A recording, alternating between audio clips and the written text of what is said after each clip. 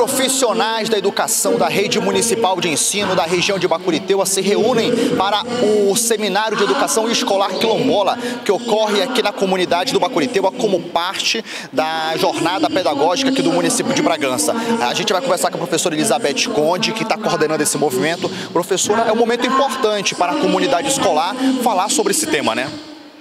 É, na verdade, nós estamos aqui para dialogar acerca de um tema bem pertinente, porque Bragança tem uma comunidade remanescente quilombola.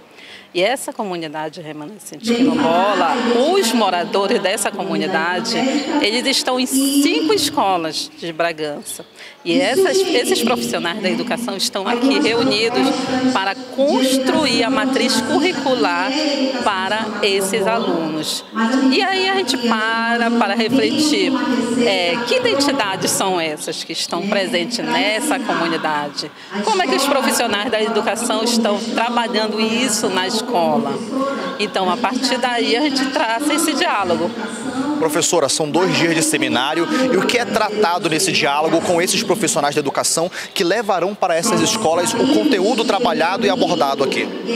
Na verdade, nesse primeiro momento, a gente vem trazer um pouquinho da história desse processo né? Lembrando que a comunidade tem mais de 10 anos e para isso os profissionais eles têm que estar cientes quem são esses sujeitos. Esse sujeito bragantino, quilombola, que está presente nas escolas. Os professores vão, já no segundo momento, numa segunda etapa desse seminário, dialogar com seus pares da educação infantil, do fundamental, da EJA, e vão elencar o que, que conteúdos são esses que temas são esses, que abordagem metodológica serão trabalhadas. Né? Quando a gente fala de comunidade quilombola, a gente se refere à comunidade remanescente do América, que é inserida aqui nessa região, e sobre esse seminário, que a senhora explica para quem está em casa da importância dele para a educação de Bragança?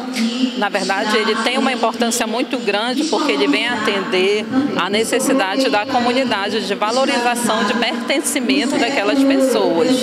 É, lembrando que Bragança ela tem todo um plano de trabalho né, voltado para a educação que atende a uma resolução. E essa resolução ela é a resolução da diretriz da educação escolar quilombola, que é uma resolução a nível nacional, que faz parte né, da necessidade do município compreender esse processo.